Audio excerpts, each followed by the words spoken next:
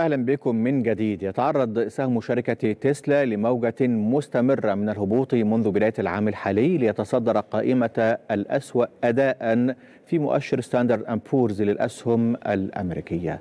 المزيد من النقاش مع ضيفنا من عمان الأستاذ أحمد عزام المحلل لأسواق المال في مجموعة Equiti. أستاذ عزام تسلا تواجه رياحا عنيفة معاكسة لماذا؟ مساء الخير أحمد شكرا للاستضافة. نعم على ما أعتقد العديد من الأسباب والمسببات التي دفعت سهم تسلا لتسجيل انخفاضات سعرية في الفترة الماضية بكل تأكيد رأس الهرم قد تكون أسعار الفائدة المرتفعة في الولايات المتحدة الأمريكية تحديدا وفي الاقتصادات الكبرى.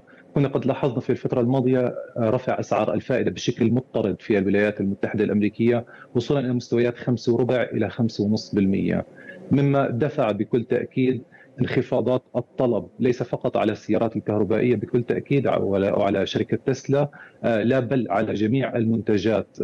عندما ننظر إلى انخفاض الطلب وتباطؤ الطلب تباطؤ طلب بشكل كبير على سهم تسلا أو على شركة تسلا تحديدا على سيارات تسلا عندما ننظر إلى الطلب انخفاض في الولايات المتحدة الأمريكية وهو انخفاض محلي. الولايات المتحدة الأمريكية تعتبر هي الأكثر استخداما للسيارات الكهربائية.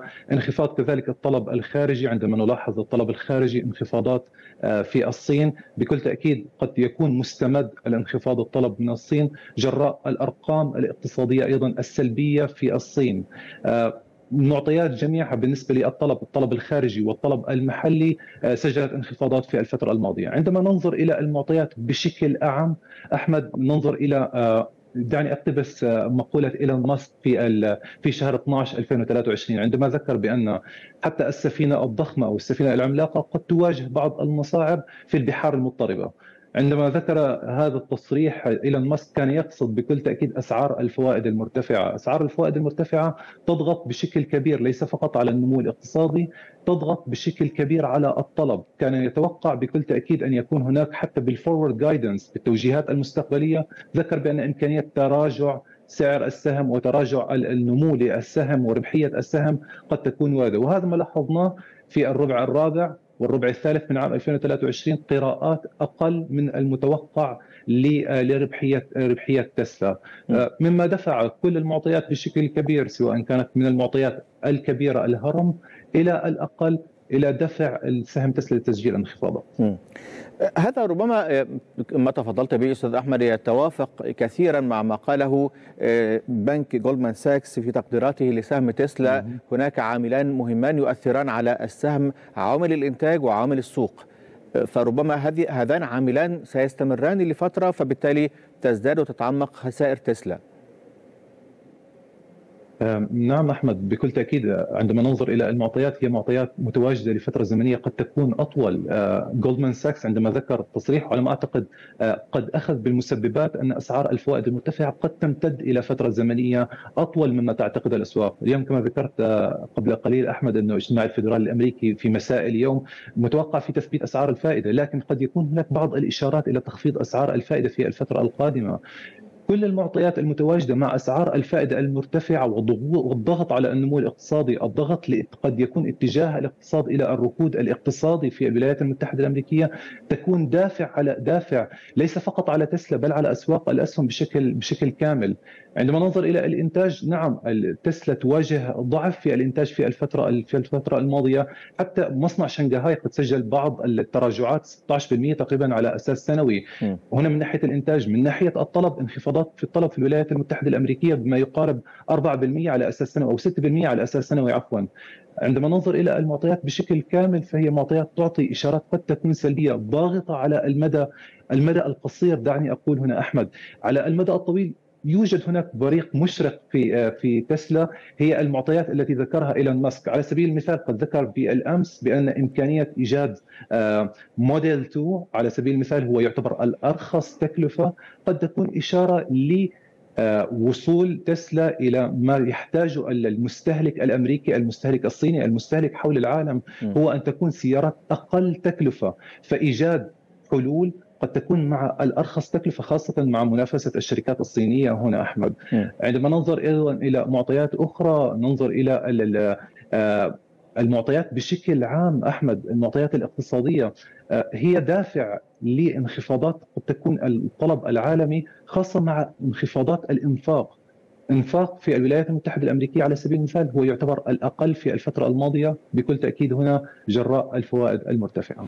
يعني مع وجود توقعات ببيع حوالي مليوني وحدة سيارة في عام 2024 من تسلا إلا أن ربما الموديل الجديد هو ربما الأقل بيعا أقل قبولا في السوق وبالتالي أثر على المبيعات بشكل كبير. هل يمكن اذا أن تغير تسلا من استراتيجيتها حتى تتفادى هذه الموجة؟ يعني في بعض التصريحات اللي ذكرها إيلون ماسك بأنهم يتجهون إلى إيجاد سيارة اجره أوتو سيارة اجره اوتوماتيكيه من ناحية من ناحية أخرى الاعتماد على الذكاء الاصطناعي بشكل كبير في الفترة القادمة. وكما ذكرت إيجاد بعض السيارات الأقل تكلفة. ال Cybertruck على سبيل المثال كانت أحد السيارات التي سجلت بعض الخسائر. بعض الأقوال قد ذكرت بأن كانت تسجل خسارة 10000 دولار على كل سيارة. فبكل تأكيد إيجاد استراتيجية أخرى قد تكون هي منحنى تغيير أداء شركة تسلا في الفترة الماضية. على سبيل على الجدير بالذكر هنا أحمد هو ليس انخفاض الأول بالنسبة للسهم في عام 2021 نهاية عام 2024 كنا قد سجلنا انخفاضات من مستويات ال 400 دولار إلى ما يقارب مستويات ال 150 دولار فانخفاضات كانت متتالية. حتى عندما ننظر إلى المعطيات كقيمة سوقية بالنسبة لسهم تسلا كنت قد ذكرت قبل قليل أحمد بأنه 250 مليار كان قد فقدت القيمة السوقية بالنسبة لتسلا. أود أن أذكر هنا فقط نقطة. انخفاضات السهم سعر السهم هي التي تدفع انخفاضات القيمة السوقية. 250 مليار سببها الانخفاض الذي حصل لسهم تسلا في الربع الحالي من ما يقارب مستويات ال 230 دولار إلى إغلاق مستويات إغلاق الأمس عند مستويات ال 170 هاي الانخفاضات 60 دولار هي عبارة عن ضرب سعر السهم مع عدد الأسهم المتواجدة في الأسواق فلذلك ظهر عندنا 250 مليار دولار انخفاضات القيمة السوقية لتسلا ولو ان أنا يعني هذه الخسارة حدثت في فترة وجيزة ثلاثة أشهر فقط هل هذا يعني نعم. أن قيمة السهم ما زالت مقاومة بأعلى من قيمتها حتى الآن رغم هذه الخسارات؟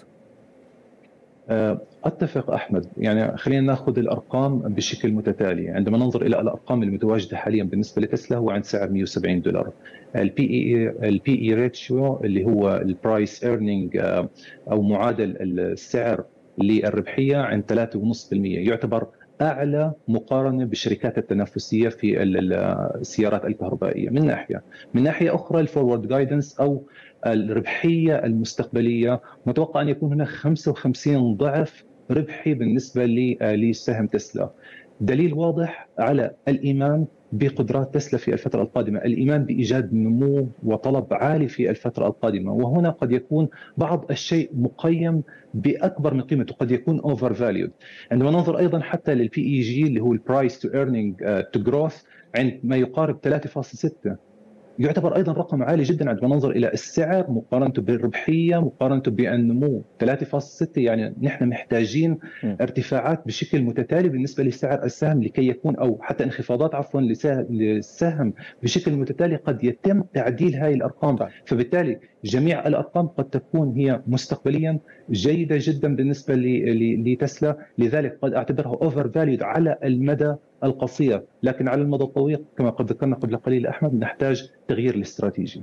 لكن ما يحدث في تسلا الآن لا يؤثر أو لا يؤشر ربما على سلبيات كثيرة في صناعة السيارات الكهربائية في العالم التي ربما تخطو الآن خطواتها الأولى ما زالت. نعم بكل تأكيد عندما ننظر إلى المستقبل في المستقبل مشرق بكل تأكيد للسيارات الكهربائية بكل تأكيد. لكن أحمد قد يكون الطلب المنخفض كما ذكرت الفوائد المرتفعة. بكل تأكيد أحمد لما حتى نتحدث حديث جانبي عندما ننظر إلى الفوائد المرتفعة وبعض الأشخاص بيكونوا بده ياخذوا قروض القروض عندما تكون مرتفعة قد يكون هناك عزوف عن مرحلة أخذ قروض. مما قد يدفع إلى عدم إيجاد عدم دفع أو عدم الطلب على السيارات. فبكل تأكيد هي ليست فقط السيارات الكهربائية تعاني الفترة الماضية من من عزوف أو خلينا أحكي من قلة الطلب أو تباطؤ الطلب في الفترة الماضية. جميع أنواع السيارات تسجل قلة في في الطلب في الفترة الماضية. لذلك قد تكون هناك إمكانية للدفع في الفترة القادمة المستقبل بكل تأكيد مشرق خاصة مع البحث عن إيجاد حلول بعيد عن الوقود الاحفوري. أشكرك جزيل الشكر ضيفنا من العاصمة الأردنية عمان الأستاذ أحمد عزام المحلل الأول لأسواق المال في مجموعة إكويتي شكرا جزيلا لوجودك معنا